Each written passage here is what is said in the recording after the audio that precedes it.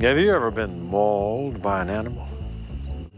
Well, let me tell you, very few things in life can compare. When I met Jesse, I was hunting up on Nanick Ridge. I just brought down a black-tailed deer and started to clean it. That's when Jesse charged. Ten feet tall, 1,800 pounds, and fast. I didn't even have time to fire before he knocked the Winchester right out of my hands. He clamped his jaws down on my shoulder. I heard the bones breaking.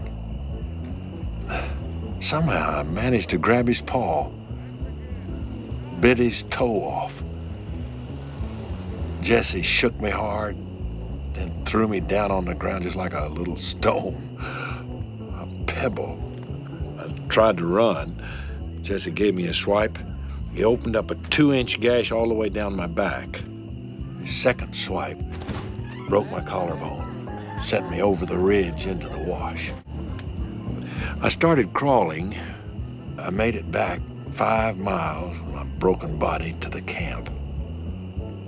And the one thing that kept me going, Joel, the one thing that sustained me through that long night was the thought that one day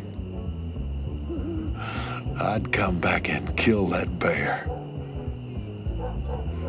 Ever since then, I knew that Jesse was out there waiting for me.